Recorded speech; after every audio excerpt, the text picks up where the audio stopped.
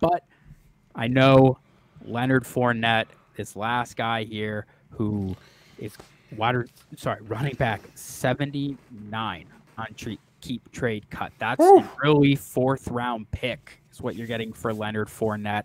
He's obviously not on a team right now, but Leonard Fournette last season, uh, running back 12. Like we got a running back one season. I know it wasn't sexy. It didn't feel that way at times throughout the year. Tampa Bay obviously struggled to score touchdowns throughout the entire season last year, and Rachaad White played serviceably next to him.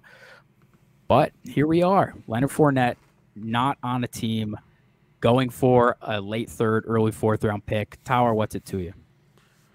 I would, I would be moving thirds for Fournette on contenders, rebuilders, um, anything. Like thirds don't mean much. He's a fourth round value. I think a lot of teams like right now will look at Fournette and he's just like he's got a projection of a zero next to his name. There's not any hype building for this guy anywhere. No one's really talking about rumors about where Fournette can go. Like he, he is a. I'm not giving a second, but I give a third for Fournette. Um, I really think he's going to end up being like a top 30 back this year.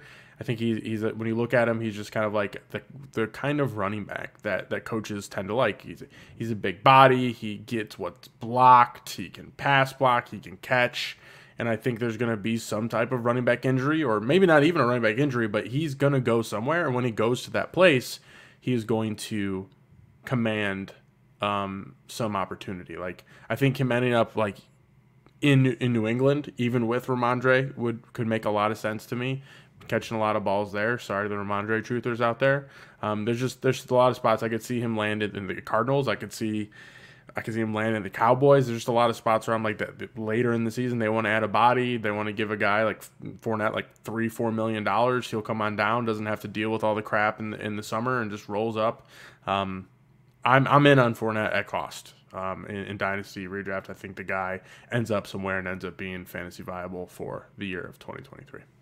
Yeah, people act like Leonard Fournette um, is is is dead. Like the people act like he couldn't come into a team like Dallas and return a lot of value. I do think that is a really good landing spot uh, with Leonard Fournette. We were talking a little bit before we got on. This dude is probably just waiting out camps. He doesn't want to come in this early, uh, have to go through all the BS that is there in camp, where he can just wait it out, uh, either wait for an injury and sign with a team that is a little more desperate, or he can find a nice little home and go to the highest bidder who will give him, you know, a couple million dollars to come come get a lot of touches next year. I don't think Leonard Fournette coming to a team and having 180 carries or you know at least 100 closer to 200 opportunities in total i don't think that's crazy at all i don't think that's outside of the range outcomes here for leonard Fournette. i really do like the dallas call i think he's being viewed very similar to a player like kareem hunt and i think kareem hunt might have played his last snap in the nfl i don't think leonard i don't think kareem hunt has anything to offer. He regressed significantly last year. If you think players like leonard Fournette have regressed